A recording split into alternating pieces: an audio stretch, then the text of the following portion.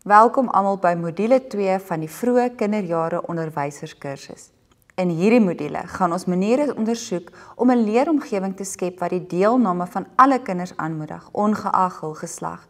Geslag speel 'n deurslaggewende rol in die vorming van ervarings, interaksies en geleenthede vir kinders.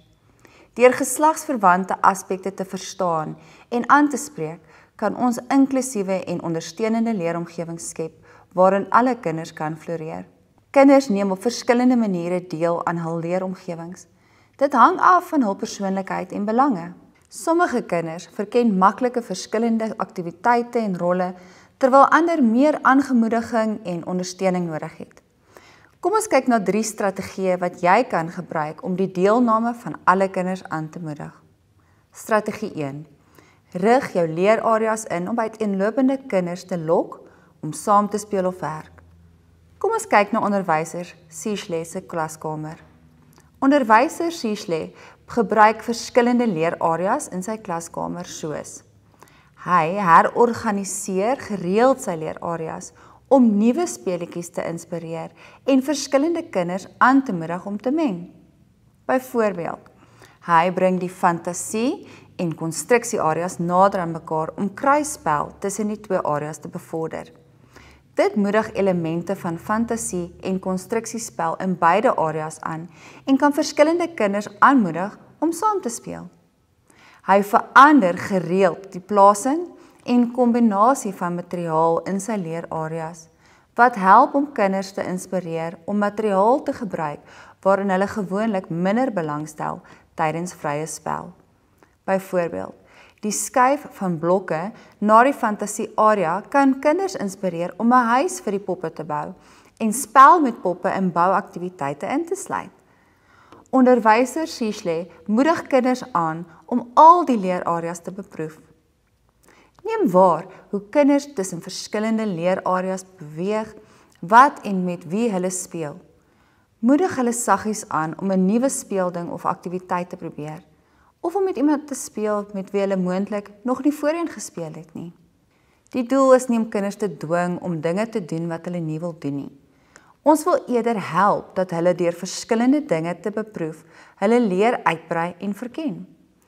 Die skepping van geleenthede vir kinders om aan 'n verskeidenheid van aktiwiteite deel te neem, sal hulle help om te groei, te leer en te ontwikkel. Strategie 2: Reël sitplekke om alle kinders aan te moedig om voluit deel te neem.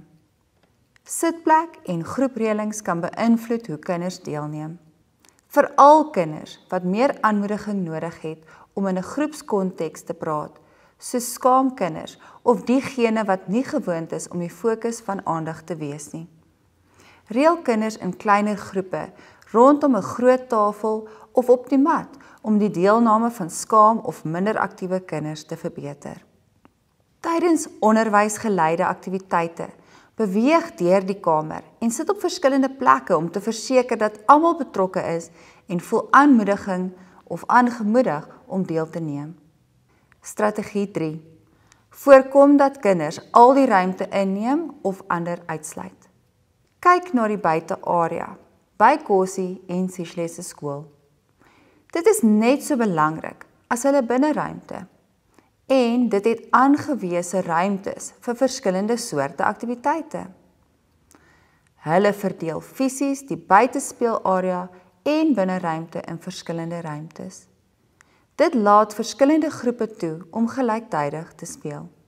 Byvoorbeeld, gebruik meubels om areas in verskillende ruimtes te deel, soos 'n mat, stoorbokse en rakke binne of plante en lae heininge aan die buitekant. Dit laat verskillende groepe toe om gelyktydig te speel. Bevorder menging en speletjies wat gemengde geslagsgroepe op die speelgrond betrek. Probeer ingryp wanneer 'n groep kinders al die speelruimte inneem of ander wegjaag. Byvoorbeeld, 'n groep meisies wat huis speel, mag dalk nie 'n seun in hulle spel verwelkom nie. Of 'n groep seuns wat buite speel, mag dalk al die balle gebruik sonder om meisies te laat saam speel. As 'n kind sê, Jy kan nie kom by speel nie want jy's 'n seun, kan jy antwoord deur te sê ons kan almal saam leer hoe om 'n resep te maak en die kos saam te kook. Die opstelling van leerareas kan beïnvloed hoe aantreklik hulle vir verskillende kinders is.